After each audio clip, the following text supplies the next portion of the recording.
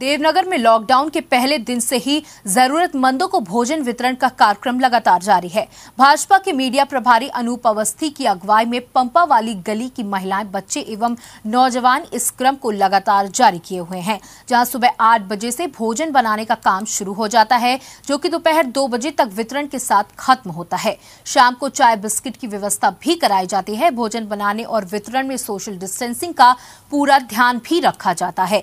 भोजन वितरण कार्य में सिविल डिफेंस एवं सामाजिक संस्थाओं सहयोग कर रही हैं। साथ ही संस्था में अनूप अवस्थी के अलावा मुकेश वाजपेयी अविधेश मिश्रा, अनुज अवस्थी, परमिंदर सिंह, रुचि वाजपेयी आदि लोग सहयोग करते हैं।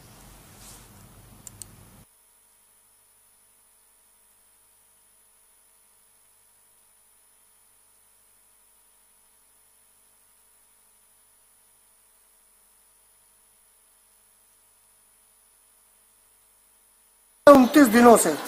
लगातार आज उनतीसवां दिन है। यहाँ गली के लोग, गली के बच्चे, महिलाएँ, बुज़ुर्ग, नौजवान, जरूरतमंदों को प्रतिदिन 500 पैकेट भोजन की व्यवस्था यहाँ से सुचारू रूप से की जा रही है और निश्चित तौर पर ये प्रेरणा देश के प्रधानमंत्री माननीय मोदी जी से और प्रदेश के मुख्यमंत्री माननीय योगी जी से प्रेरणा लेकर यहाँ के नौजवान, बच्चे, महिलाएँ आप देख रहे हैं। किस तरीके से अपना श्रम कर रही हैं। यहाँ पर गली के सभी लोग इस व्यवस्था में लगे हुए हैं।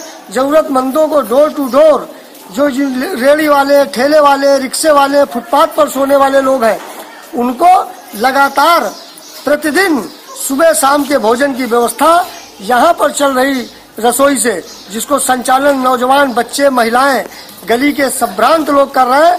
ऐसी व्यवस्था यहाँ पर लगातार